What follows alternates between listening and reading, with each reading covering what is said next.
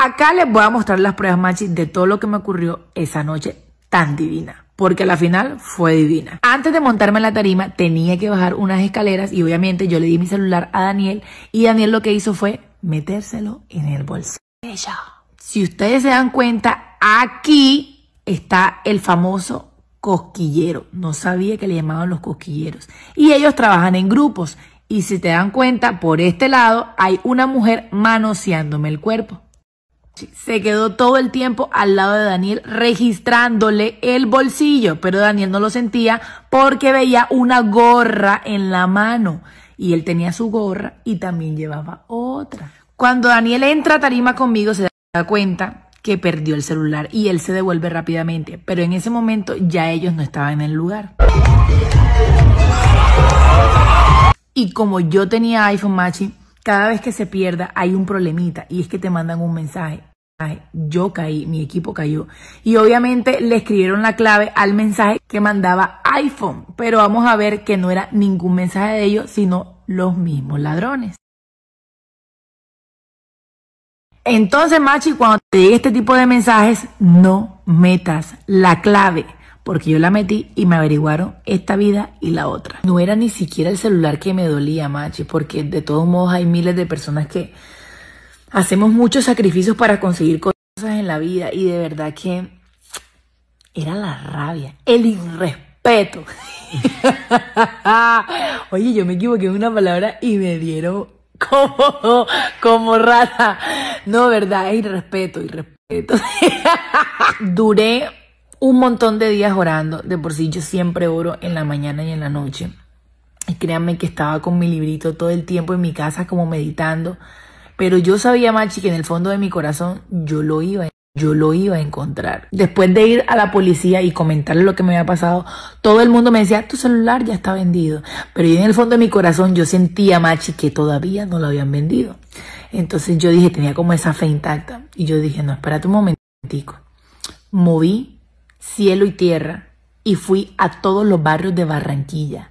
Llamé a todos mis familiares y le dije, vamos a hacer una emboscada.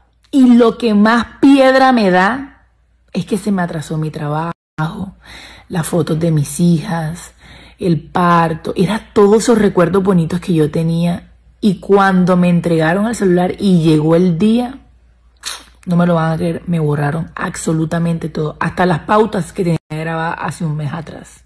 Yo esperaba tanto una llamada Machi en la noche y me dijeron, André, localicé al tipo. Me fui corriendo, cogí el carro, me fui en bola, le dije, Saru, ¿me acompañas no me acompaña? Llamé, mejor dicho, a todo el mundo y le dije, bueno, acompáñenme. Y a mí me decían, eh, bueno, pero ¿cómo vas a actuar? O sea, ¿qué? ¿Le vas a meter una trompa al tipo? ¿O le vas a hacer algo? Y yo, en realidad, Machi, yo simplemente quería ver al Señor. A mí me habían salido unas palabras muy bonitas en un librito. Es este, a solas con Dios. Lo que yo pongo a cada ratico, las frases y todo eso, es de aquí, Machi. Y precisamente ese día me había salido una lectura muy bonita que decía que yo tenía que perdonar, que yo no tenía que pagar igual y que tenía que ser comprensiva con todas esas personas que no estaban en el camino del Señor. El perdón y amor. Parece mentira, estaba viendo una película. Y yo decía, bueno, ¿qué hago? Porque al final tienes muchos sentimientos encontrados, ¿sí me entiendes? Como rabia, ira. Y tú sabes que todo eso al final te enferma. Entonces yo simplemente lo quería ver y le quería dar un mensaje. No sé si le retumbé el corazón o la conciencia o no sé qué carajo, pero yo hay veces quiero cambiar este mundo tan podrido. Yo lo había dicho en muchas ocasiones, pero no lo puedo cambiar, machi. Pero yo sé que si empiezo de uno en uno, tal vez llegaría a algo, ¿cierto? En ese momento creí que no todo era violencia y que de alguna otra manera tenía que hablarle con él y darle un mensaje. Entonces, eso fue lo que hice.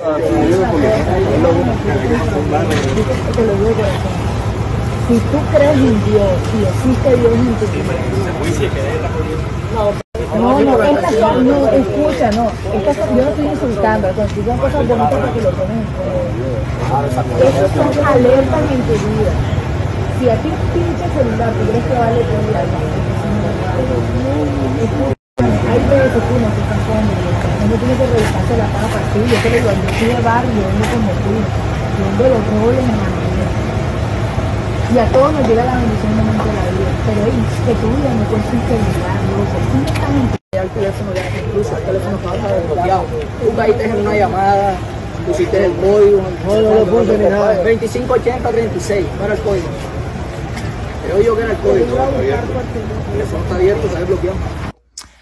Una vez se hace tantas cosas en la vida y no pensamos en aquellas personas que nos aman, por ejemplo nuestros hijos, nuestros padres, nuestros hermanos, y por estar tan afanados en buscar, en, rebuscarse y la vaina y, y pensar que todo es lo malo y el mundo oscuro y toda esa vaina, no se dan cuenta que a la final le van a hacer daño es a esas personas que los aman y los rodean. Lo que yo les puedo decir es, en algún momento de su vida ustedes entenderán lo que es el perdón y el amor. Sé, para unas personas estás loca, no hiciste nada y bla, bla, bla, bla. Pero otras lo entenderán. Y créanme que una persona en ese papel en que yo estaba hubiese actuado diferente con tanta rabia e ira. Pero Machi, yo siento que los años te hacen cambiar, no sé. Eso no quiere decir que ahora vengan todos a atracarme porque te lo juro que pasé una, pero no pasó tres ni dos. Después de no dormir cuatro días, Machi, conseguirlo, ya me siento un poco más tranquila, aunque perdí todo lo que tenía el celular. Eso fue lo que más me dolió. Es más, lloré. Pero, no sé, yo siento que en muchas cosas ahí me ha cambiado Dios. Yo antes era un poco más revolucionaria, no pensaba en las cosas, actuaba por impulso. Y yo siento que cuando uno va madurando y va aprendiendo de los golpes de la vida, vas canalizando toda esa información, lo cambias y lo conviertes en algo positivo. En algún momento de la vida te vuelves prueba para otras personas y de pronto tenía que llegar yo a darle un consejo a él, no sé, yo aquí en mi locura. Siento que en parte tú llegas a la vida de alguien por algo, tú no llegas porque sí y te tienes que ir por algo, por algo. Y en ese momento yo siento que llegué a la vida de él como para darle un mensaje. De pronto el Señor más adelante iba a hacer algo malo y lo iba a pagar con su vida. Y en esa reflexión que le metí, le habrá servido de algo. De igual manera, si me está viendo, espero que cambies. Los amo con mi corazón.